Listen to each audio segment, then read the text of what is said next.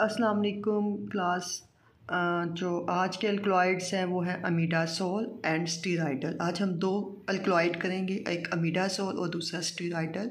दोनों इजी हैं और आसान से हैं एंड इसमें दोनों में एक एक प्लांट है। अमीडासोल में सारी बात है जो प्लांट होगा उसका अमीडासोल का स्ट्रक्चर होगा उसके अंदर, अमीडासोल न्यूक्लियस होगा। इसमें हमारे पास जो आपके सिलेबस में वो एक ही प्लांट है, वो है पाइलोकार्पस जिसके अंदर पाइलोकार्पीन होती है। तो पाइलोकार्पस को जो कॉमन नेम है वो जेबुलंडी भी जेबुलंडाई कहते हैं। एंड इसका जो ओरिजिन है वो पाइलोकार्पस जेबुलंडाई है। लुटेसियाई इसकी फैमिली होती है एंड इसके लीफलेट यूज़ करते हैं। ब्राज़ील में ये इंडिजिनियस है और ये एक शरब है। इसकी जो हैबिट है वो शरब है। मैंने क्लास आपको पहले भी बताया कि हर्ब जो है वो उसकी हाइट वन मीटर तक होती है, इससे ज़्यादा नहीं होती और शर्ब की जो है वो three metre, three two six इससे ज़्यादा नहीं होती। तो ये वाला जो प्लांट है, इसके लीफलेट्स को कलेक्ट करते हैं और केयरफुली ड्राई करते हैं। इसके अंदर जब हम इसको फ्रेशली कलेक्ट कर रहे होते हैं और ड्राई करते हैं तो इसके अंदर अल्कोलाइडल का कंटेंट्स जो हैं, वो बहुत ज़्यादा होता है। लेकिन जैसे इसको स्टोरेज करते हैं तो टाइम के साथ साथ इसमें जो है अल्कोलाइडल कॉन्टेंट्स बहुत कम होते जाते हैं। एक साल में हाफ़ हो जाते हैं, दो साल के बाद बिल्कुल ही ख़त्म हो जाते हैं। यानी कि इसमें जो डिटोरिएशन है, वो बहुत ज़्यादा है। पाइलोकार्पस जो है कमर्शली जो है, इसके अंदर जो पाइलोकार्पिन होती है, वो पॉइंट फाइव से वन परसेंट होती है। इसके अलावा इसके अंदर आइसो आइसोपाइलोकार्पिन पाइलोकार्पिडीन पाइलोसिन या साइलोसिन भी कहते हैं, वो होती है। लेकिन सबसे इंपॉर्टेंट जो है, वो पाइलोकार्पिन है। पाइलोकार्पिन जो है बेसिकली एक हाइग्रोस्कोपिक कंपाउंड होता है, जो कि रूम टेम्परेचर पे लिक्विड है। लेकिन इसका सॉल्ट जो है, वो क्रिस्टलाइज नेचर के होते हैं। पाइलोकार्पिन जो है ये एच सी एल और नाइट्रेट के साथ जो है ये इसका कॉम्बिनेशन आता है सॉल्ट आता है।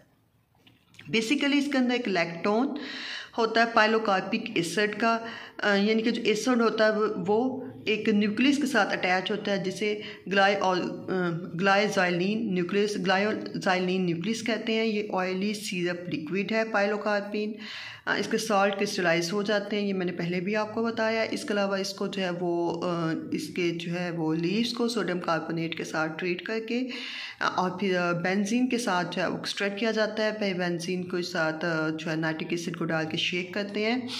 इससे फिर जो ये एक्वस एक्सट्रैक्ट होता है, इसको अल्कलाइन करते हैं, फिर इसको के साथ भी शेक करते हैं और फिर इसको एसिड के साथ शेक करते हैं, फिर इसको अल्कलाइडसार्ट को क्रिस्टलाइज करते हैं। पाइलोकार्पिन जो है, वो बेसिकली इसका वही एक्शन है जो फाइजोस्टिगमीन का है। ये, यानी कि फाइजोस्टिगमीन तो थी, वो ओपन एंगल ग्लूकोमा में, यानी कंजेक्टिवाइटिस में यूज़ होती थी। ये ओपन एंगल और नैरो एंगल नैरो एंगल दोनों, यानी कि क्रॉनिक ओपन एंगल और नैरो एंगल, दोनों ग्लूकोमा के लिए इसको यूज़ किया जाता है। ये क्या करती है कि ये मस्क्रीनिक रिसेप्टर्स को, आई के जो मस्क्रीनिक रिसेप्टर्स हैं, उनको स्टिमुलेट करती है प्यूपल को कॉन्स्ट्रिक्ट करती है जो प्यूपल के ऊपर आई के ऊपर सिलरी मसल्स हैं, उनको कंट्रैक्शन करती है, जिससे क्या होता है कि मियोसिस इफ़ेक्ट प्रोड्यूस होता है और इससे क्या होता है, जो एक्वस ह्यूमर है, उसकी आउटफ्लो जो है वो इम्प्रूव हो जाता है इंटीरियर चैम्बर में और जो आपकी ड्राई सी आइस होती हैं वो नहीं होती। मतलब वो फ्रेश हो जाती हैं, ठीक हो जाती हैं। यानी कि ये मायोटिक इफ़ेक्ट प्रोड्यूस करता है। इसका जो है एच सी एल साल्ट और नाइट्रेट दोनों ही कोलिनर्जिक एगनिस्ट हैं और ये कंजक्टिवाइटस में यूज़ करते हैं टू ट्रीट ग्लूकोमा के लिए। और इसकी डोज जो है वो फाइव मिलीग्राम है। इसकी डोज जो है वो यूज़ करते हैं। और ये इसका स्ट्रक्चर ये पाइलोकार्पिनिक जो है वो एक इसके अंदर लैक्टोन है। पाइलोकार्पिनिक एसिड का, ये देखें ये साथ एसिड बनाया हुआ है इन्होंने। और एक साथ जो है वो जाइलो ऑक्सीलिन का न्यूक्लियस है। उसके बाद है स्टीराइडर अल्कोलाइड तो स्टीराइडर अल्कोलाइड्स में चाहे इसका स्ट्रक्चर स्टीराइडर अल्कोलाइड का आप स्किप कर सकते हैं, क्योंकि इसके में बेसिक जो है वो स्टीराइड का न्यूक्लियस होगा, जो और इसको मेमोराइज़ करना मुश्किल होगा। इसके अंदर जो है एक प्लांट है विराटरम और विराट्रम के अंदर बहुत ज़्यादा कॉन्स्टिट्यूंट्स हैं, यानी कि इसके अंदर ग्रुप्स ऑफ़ अल्कोलाइड्स हैं तो इसलिए आप इसका स्ट्रक्चर जो है वो स्किप कर सकते हैं। विराट्रम जो है इस जो कि स्टीराइडर अल्कोलाइड है, इसकी हमारे पास दो स्पीशी आती हैं, एक वाइट कलर की होती है और एक सबज होती है। जो सबज होती है, उसको अमेरिकन हेलीबोर कहते हैं, और जो सफ़ेद होती है, उसको यूरोपियन हेलीबोर कहते हैं, जो सफ़ेद होती है, उसको वाटरम एल्बम यूरोपियन हेलीबोर और जो ग्रीन होती है वाटरम विराइट लिलियसिया इसकी फैमिली है रूट एंड राइसोम इसके यूज़ करते हैं, ये भी श्रब है। एंड इसकी नेचर भी जो है वो ब्लड प्रेशर को लो करती है, यानी कि हाइपोटेंसिव इफ़ेक्ट है। लेकिन आजकल जो है वो वेट्रम का इतना यूज़ नहीं किया जाता तो इसको एज ए इंसेक्टिसाइडर पर्पज़ के लिए दोनों को यूज़ किया जाता है।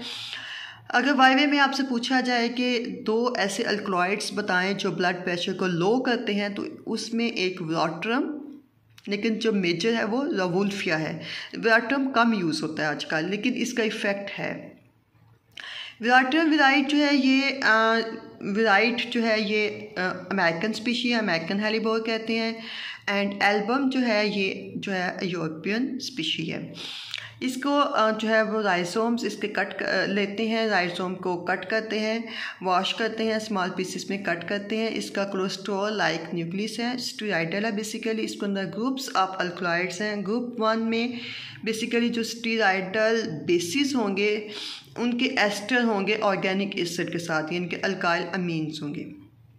जिसमें एग्जांपल्स है सेवेडीन की जर्मेडीन की जर्मेट्रीन की न्यू जर्मेट्रीन की प्रोटोवैट्रीन ए एंड वैट्रीन आप प्रोटोवैट्रीन ए को याद रख सकते हैं, और क्योंकि इसके अंदर सिर्फ़ और सिर्फ़ प्रोटोवैट्रीन ए पाई जाती है, ये भी एमसीक्यू पूछा जाता है कि जो वाट्रम विराइट है उसके अंदर कौन सा प्रोटोवैट्रीन होता है? तो जो वैट्रम विराइट है, उसके अंदर प्रोटोवैट्रीन ए होती है और जो एल्बा है एल्बम स्पीशी है, उसके अंदर प्रोटोवैट्रीन ए और बी दोनों पाए जाते हैं।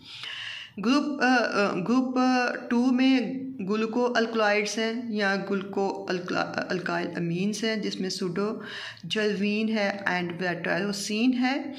थर्ड है अल्काइल अमीन्स हैं, जिसमें जर्मीन है जरवीन है रूबी जर्मीन है। उसके बाद जो है मेडिसिनल यूजेस मैंने बता दिए कि ये हाइपोटेंसिव है सिडेटिव इफ़ेक्ट है एंटी इन्फ्लेमेटरी है कॉर्टिक भी है। यूज़ इसका हंड्रेड मिलीग्राम है, लेकिन अब इसको इस तरह से यूज़ नहीं किया जाता। वाइट हेलीबॉल जिसे वाटम एल्बम या यूरोपियन हेलीबॉल कहते हैं लिलियसियाई फैमिली से है, बिल्कुल सिमिलर है, लेकिन इंडिजिनियस किसके है, ये यूरोपियन है, वो इंडिजिनियस होती है अमेरिका।